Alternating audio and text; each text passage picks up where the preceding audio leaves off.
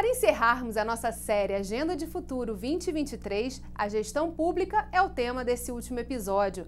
Nessa edição, os entrevistados elencaram pilares importantes para a construção de políticas públicas e também para a execução delas. Entre os destaques estão desburocratização, redução de CMS, transparência, regulamentação do Fundo Soberano e o cumprimento dos contratos. Vem comigo.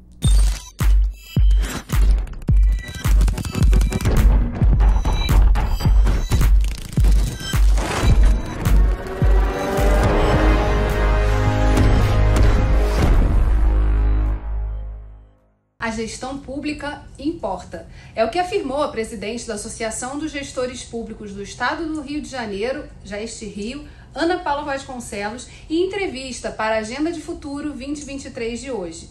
Ela explicou que, por mais que existam boas leis, o papel dos gestores é fundamental para colocá-las em prática. Como funciona a Gest Rio? A Gest Rio é uma entidade que congrega é, as carreiras que são comumente conhecidas como gestores públicos né, que, na verdade, são, em essência, cinco cargos: especialistas em políticas públicas e gestão governamental, analista de planejamento e orçamento, especialista em previdência social, é, que atuam majoritariamente no Rio Previdência, especialista em gestão da saúde, atuam majoritariamente na Secretaria de Saúde, e analistas de finanças públicas atuam majoritariamente na Secretaria de Fazenda.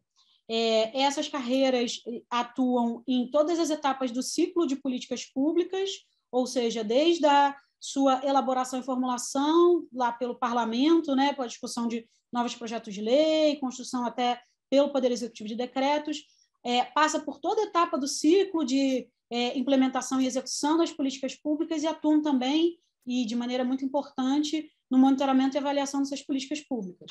É, isso para todas as áreas de governo, saúde, meio ambiente, transporte, educação, em todas essas áreas nós temos atuação de gestor público. Além dessas questões específicas da política pública, os gestores públicos atuam também em funções ligadas à gestão governamental. Então, é, elaboração e execução do orçamento, elaboração e execução é, das peças é, de planejamento, e aí, claro, inclui o PPA como uma das mais estruturantes, mas também discussões de planejamento estratégico, atuam junto a discussões de logística do governo do Estado, gestão do patrimônio imobiliário, a gestão de pessoas, modernização da gestão e transformação digital do governo. Todas essas funções são funções de gestão em que os gestores atuam também. Então, quantos gestores hoje que a gente tem no estado do Rio? É, atualmente temos algo entre 250 e 300 gestores. É, como eu mencionei, alguns deles atuam de maneira é, centralizada no Rio Previdência, na Secretaria de Saúde, na Secretaria de Fazenda e na Secretaria de Planejamento, mas é, a carreira tem um desenho descentralizado e é comum você encontrar gestores públicos em todos os órgãos e entidades do Estado. Pensando nos próximos quatro anos e no papel de reflexão que a Gest Rio tem também ao reunir os gestores de tantas pastas para poder discutir o futuro, quais devem ser os pontos, né, as agendas que tem que estar no radar dos deputados eleitos para a próxima legislatura? Olha, é, o primeiro ponto, Geisa, que eu destaco é muito importante, é que sem uma boa gestão pública, é, quaisquer projetos que o parlamentar tenha, por melhor, é, melhor que seja a redação, por mais bem intencionada que seja a proposta do projeto de lei, é, quando se tornar lei, ela vai ser uma letra morta, porque a administração pública ela tem que estar preparada para implementar e executar aquela política pública. Então, é, no meu primeiro ponto é a gestão pública importa. Isso precisa ser levado a sério também pelos parlamentares. É, um segundo ponto de atenção é, diz respeito à regulamentação do Fundo Soberano. Ele foi criado agora, em 2022, por iniciativa do Parlamento, e para que o fundo tenha uma execução que esteja alinhada com os seus propósitos, é, será necessária, serão necessários mecanismos de gestão muito importantes, principalmente no que tange a transparência dos gastos é, que vierem a ser efetivados ah, com recursos do fundo. É, um terceiro ponto que eu destacaria diz respeito à entrada em vigor da nova Lei de Licitações e Contratos, cuja vigência se inicia em 2023 e que vai exigir uma preparação grande da parte do, não apenas do Poder Executivo, mas também do Poder Legislativo para a realização de compras públicas, é, e que vai exigir também a, a capacitação de profissionais treinados para fazer as contratações é, já sob a égide da nova lei.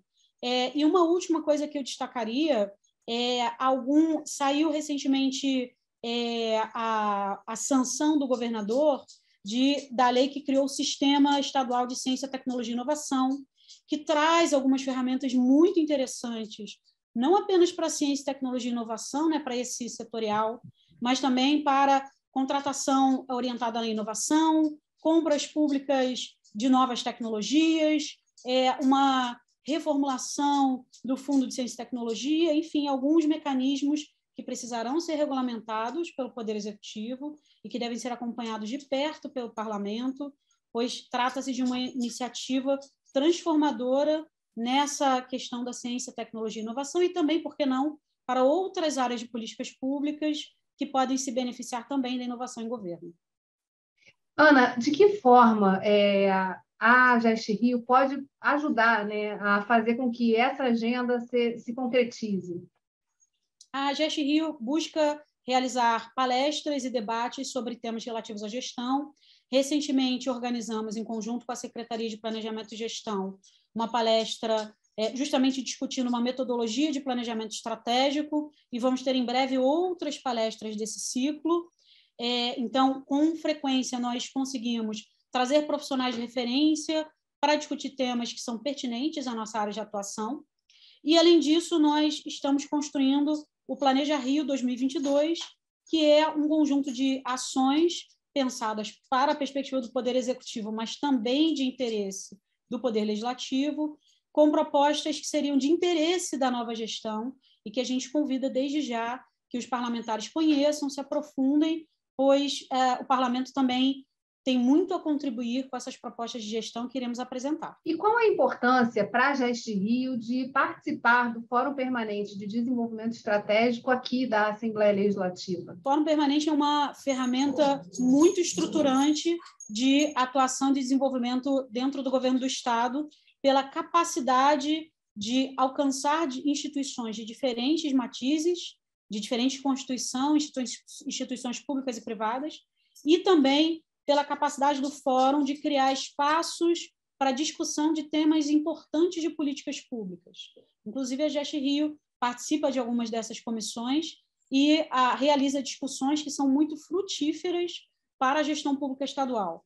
Então, essa é uma iniciativa que já existe há alguns anos, traz muitos benefícios para a administração pública estadual, e a GEST Rio sempre busca é, divulgação e aumentar a capilaridade de atuação do fórum, sendo um instrumento fundamental é, de participação do Legislativo e do Executivo também para os próximos anos. Para o fórum é sempre importante a Geste Rio estar participando, porque a gente tem essa conexão direta com quem está dentro do, do sistema do Executivo, né, fazendo acontecer, e tem também as referências de quem pode vir a esclarecer pontos que são sugeridos por essas instituições. Por isso mesmo, agradeço a sua disponibilidade, a presença e a participação nesse projeto Agenda de Futuro. Muito obrigada.